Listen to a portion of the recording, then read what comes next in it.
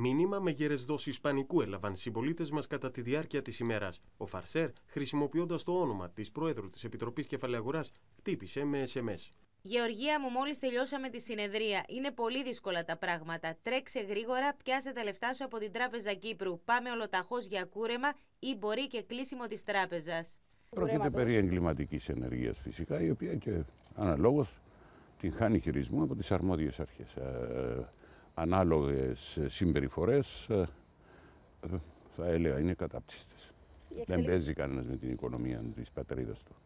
Το μήνυμα διαδόθηκε ταχαίως με τη Δήμητρα Καλογύρου να πληροφορείται έκπληκτη τα ματάτα και να προβαίνει σε καταγγελία στην αστυνομία. Ένα περιεχόμενο το οποίο ε, σίγουρα δεν έχει προέλθει από το δικό μου mobile και ούτε το περιεχόμενο έχει γραφτεί από μένα, άρα ούτε αποστολέας είμαι, ούτε έχω να κάνω οτιδήποτε με το εν λόγω μήνυμα. Το SMS ταξίδευε από κινητό σε κινητό, φτάνοντας και σε αυτά κυβερνητικών αξιωματούχων, βουλευτών και αρχηγών κομμάτων.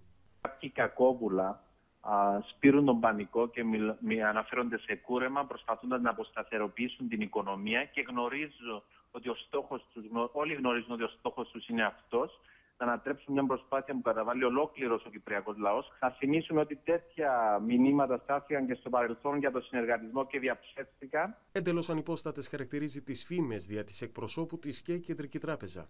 Πρόσφατα είχε ολοκληρωθεί με επιτυχία η ανακεφαλαιοποίηση της Τράπεζας Κύπρου. Ο τομέας του συνεργατισμού έχει αναδιαρθρωθεί και ανακεφαλαιοποιηθεί χωρίς τη συμμετοχή των καταθετών και με βάση το πρόγραμμα προσαρμογής της Κύπρου. Υπάρχει επιπρόσθετο ποσό ύψους ενός δις για τυχόν μελλοντικές κεφαλαιακές ανάγκες.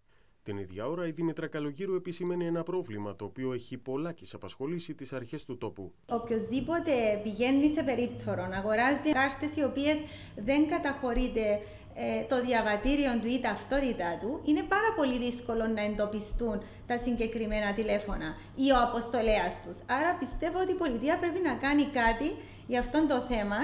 Σύμφωνα με πληροφορίες, η αστυνομία καταβάλει προσπάθειες με τη χρήση της τεχνολογίας να βρει ηλεκτρονικά ίχνη του ανεγκέφαλου Φαρσέρ, ελπίζοντας ότι θα την οδηγήσουν στον άνθρωπο που προκάλεσε τον πανικό. Έγκυρες πήγε από τον τραπεζικό κόσμο ανέφεραν στο Σίγμα ότι η φήμη έφερε σημαντικές εκροές καταθέσεων.